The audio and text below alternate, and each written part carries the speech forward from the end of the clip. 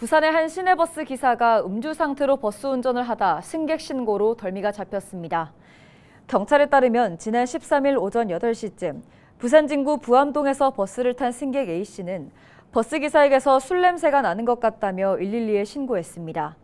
신고를 접수한 경찰은 해당 시내버스를 정차시킨 뒤 운전기사 B씨의 혈중 알코올 농도를 측정한 결과 운전면허 취소 수치가 나왔습니다. 경찰은 B씨를 하차시킨 뒤 승객 10여 명은 다른 버스로 옮겨 타게 했습니다. 부산시는 시내버스 회사의 과태료와 함께 과징금 등 행정처분 부과를 검토하고 있습니다.